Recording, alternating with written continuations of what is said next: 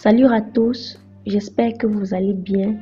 Moi c'est Natine Adev et je vous dis bienvenue sur ma chaîne. Aujourd'hui on se retrouve pour une vidéo de ménage du soir de mon espace jour qui est le salon et la cuisine. Nous allons ranger et nettoyer un ménage rapide pour se lever le matin avec la maison propre, ce qui nous libère l'esprit et nous permet de commencer la journée dans une certaine sérénité. En soirée ce jour, j'étais en train de travailler sur mon ordinateur. On a eu une coupure d'électricité. J'ai donc sorti ma lampe. Vous savez, dans mon pays, on couvre régulièrement euh, le courant électrique. Du coup, toutes les familles ont une lampe rechargeable, que ce soit solaire ou électrique. Dont la mienne, c'est celle-là. J'ai terminé le travail que j'étais en train de faire. Je vais ranger mon ordinateur et tous mes accessoires. Revenir sur mon buffet, me mettre à ranger. Commencer par garder ma lampe en attendant la prochaine coupure parce que c'est sûr il y en aura. Donc je vais venir débarrasser mon buffet. Les documents de mon mari qui sont sur le buffet, je vais les remettre là parce qu'il va ressortir avec le matin. Ça ne sert à rien de garder pour qu'il se lève, il se met à chercher ou bien qu'il me réveille je vais nettoyer mon plateau décoratif qui est posé sur ce buffet.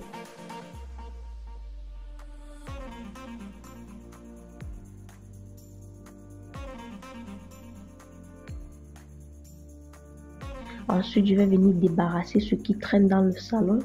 Puis, je vais essuyer la table à manger, enlever les petites saletés qui sont tombées sur les chaises, puis bien repositionner les chaises.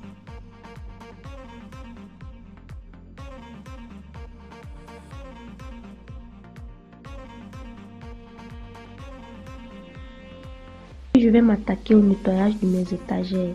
Le nettoyage des étagères, ce n'est pas quelque chose que je fais tous les jours. Vu que j'allais filmer euh, ce nettoyage, j'ai laissé les étagères pendant quelques jours sans nettoyer pour le faire dans cette vidéo. Sinon, mon ménage du soir, c'est quelque chose que je peux faire en 10 minutes, franchement, 10 à 15 minutes. Donc, débarrasser, essuyer juste la table TV, la table basse, refaire le canapé, balayer rapidement. Parfois le soir, je ne lave même pas le sol ou bien je ne suis pas. Puis je retourne à la cuisine pour euh, mettre la cuisine aussi propre. Mais ce soir-ci, vu que j'allais filmer, j'ai laissé traîner un peu la poussière dans le salon. C'est cette poussière-là donc que je suis en train de nettoyer. Je vais aussi nettoyer mon plateau décoratif qui est sur ma table basse. Après avoir nettoyé mon plateau décoratif sur la table basse, je vais essuyer la table avec le chiffon microfibre. Puis je vais constater qu'il faut absolument asperger mon produit fait maison et frotter parce que ma fille avait mangé la banane douce et venue essuyer ses mains sur la table. Ça avait déjà collé. Vous voyez pourquoi j'insiste pour enlever les traces de banane douce sur la table. Et sur le sol aussi, il y en avait. C'est pourquoi pendant que je vais laver le sol, je vais poser le pied sur les franges de mon balai et bien frotter pour insister et enlever. Ensuite, avec mon même produit, je vais aller nettoyer mon meuble TV. Le meuble TV étant noir, c'est quelque chose qui attrape beaucoup de poussière. Voilà pourquoi on le nettoie tous les jours. Les jours où j'ai la flemme, je demande à ma fille aînée de m'aider elle va soulever gentiment tout ce qui est posé dessus et enlever la poussière. Puis je vais venir à mon coin de baffle qui garde aussi beaucoup de poussière. Donc je vais essuyer le régulateur de tension qui est posé là-bas, le ouf et les baffles qui vont avec. Puis je vais déplacer et balayer cet endroit-là. C'est un endroit que je ne lave pas tout le temps. Ensuite, je vais balayer cette partie-là et venir bien faire mon canapé. Mon canapé, les enfants ont déjà bien amoché ce canapé. Elsa, entre ses un an et deux ans, est passé son temps à manger le canapé. C'est pourquoi de ce côté-là, je couvre avec euh, une écharpe. Le canapé, je pense que je vais faire appel à une entreprise de nettoyage pour qu'ils voient comment me le remettre quand même à neuf. Pour qu'on me le remette un peu propre.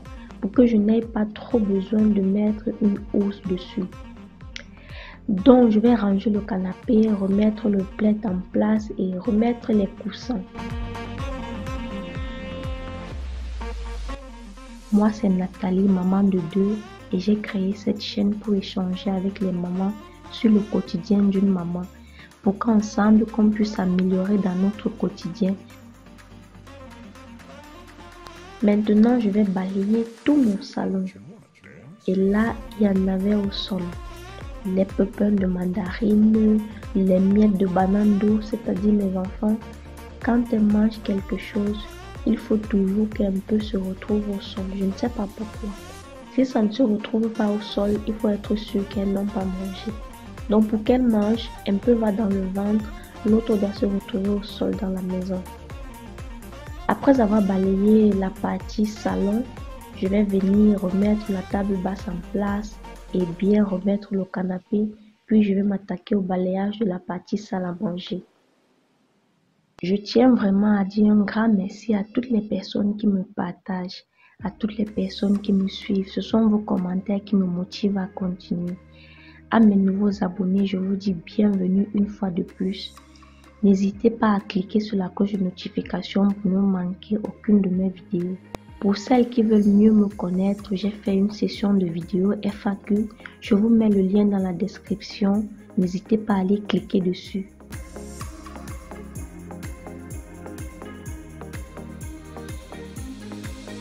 Après avoir donc terminé de balayer tout mon salon, je vais venir passer la serpillère. Je vais passer mon balai serpillère à franges. Je pose le pied sur les franges de ma serpillère et je frotte fort avec le pied les parties où la banane a collé ou bien autre saleté qui résiste. Ce soir, je n'ai pas passé le balai serpillère deux fois. J'ai juste pressé et venu essuyer tout le salon. Parce que même s'il y a eu la banane au sol, le salon n'était pas si sale que ça.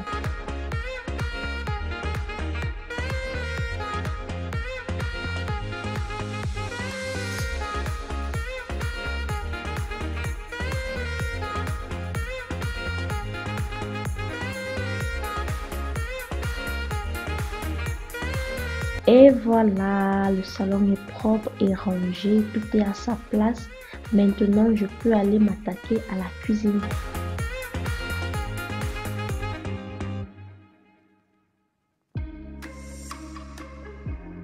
Plus tôt dans la journée, j'avais trempé tous mes chiffons de cuisine puisque j'aime bien en avoir beaucoup et laver. Là, ça a séché je vais tout plier, bien plier et ranger dans ce bac où je mets mes chiffres. N'hésitez pas à me dire en commentaire si vous êtes comme moi et que vous aimez avoir plusieurs chiffons à la cuisine. Et je vais vous le dire, là, la moitié de ces chiffons est microfibre. Le reste, c'est pour essuyer les mains, porter la marmite au feu, essuyer les plats et essuyer les marmites. Donc, j'ai différentes qualités.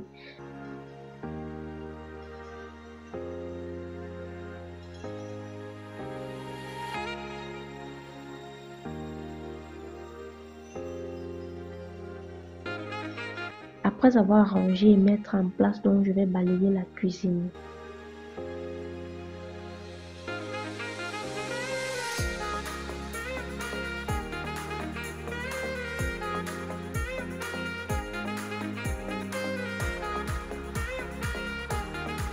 Vu que c'est le soir et qu'il n'y a pas eu beaucoup de soleil, j'ai donc laissé les vêtements traîner encore dehors pour que le vent puisse sécher ce qui n'était pas encore bien sec. Donc c'est ce que je vais enlever. Ce qui est sec, je vais directement mettre à la maison. Mais ce qui n'est pas sec, je vais plier et mettre dans le seau pour le ressécher le lendemain.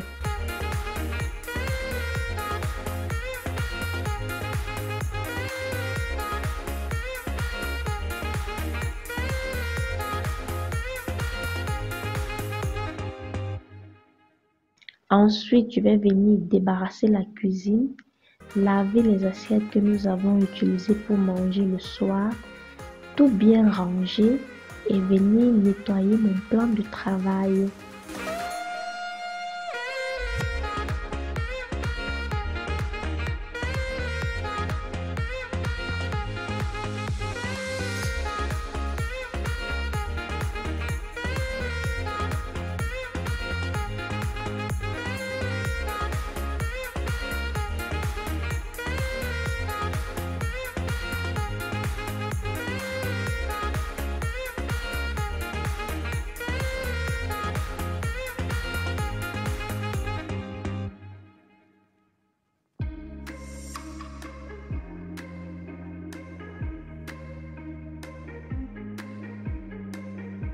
Les bols que j'ai lavés, je vais les nettoyer, je vais les sécher avec un chiffon avant de les ranger. Toujours avec ma solution fait maison multi-surface composée de vinaigre blanc, bicarbonate de soude et eau tiède, je vais nettoyer mon plan de travail. C'est la même solution que j'utilise sur mes meubles en bois. C'est une solution passe-partout, naturelle, efficace et économique.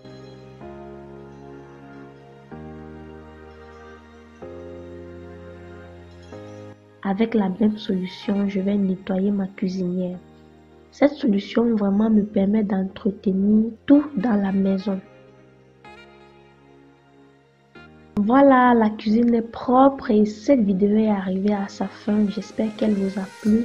J'espère qu'elle vous a motivé à laisser votre maison propre avant d'aller vous coucher pour vous réveiller le matin, commencer une journée dans la pleine sérénité. Portez-vous bien et on se retrouve très prochainement pour une nouvelle vidéo. Bye bye